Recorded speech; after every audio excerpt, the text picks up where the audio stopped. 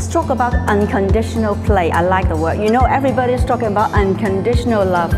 I think what the Cambridge schools and also the team of Play Lab is trying to do here is really about unconditional play, you know. Even as a very small child, we are so conditioned into, oh, this is the right way to draw a line, this is the right way to write your name, this is the right way to behave in classroom.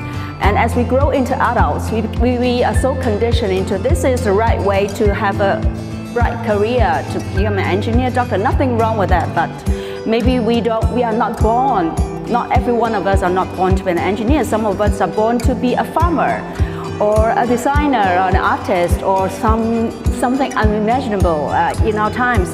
So I think it's really crucial at this time of in this time of our age here to not really condition a child into something that we want them to be. Rather, we let them, we give them the full freedom to grow into someone they are meant to be. And it could be something that we cannot imagine. So for us, the Play, Play Lab team here, creativity is not about making beautiful pictures. Creativity is the strength to be fully confident.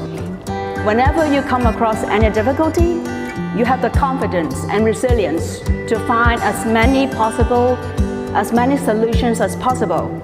That's how we become creative individuals.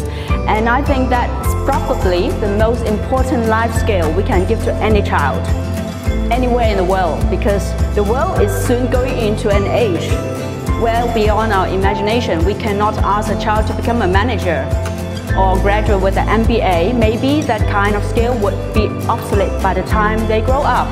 So I think what we can do to give to a very small child, I think early learning is really the most formative year.